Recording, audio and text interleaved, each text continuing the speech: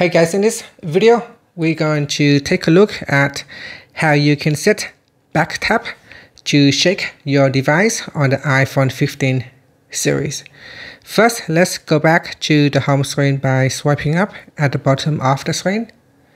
Then from the home screen, tap on settings. Now in the settings page, scroll down. Then in here, tap on accessibility. Next, Go down and then tap on touch. Now scroll down to the bottom and then tap on back tap.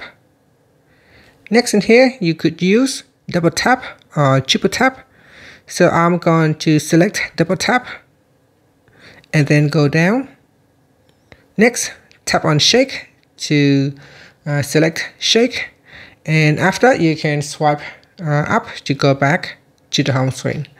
Now, if you need to perform a shake action instead of trying to shake your phone, all you have to do is just double tap on the back of your iPhone and your phone will uh, simulate the shake action.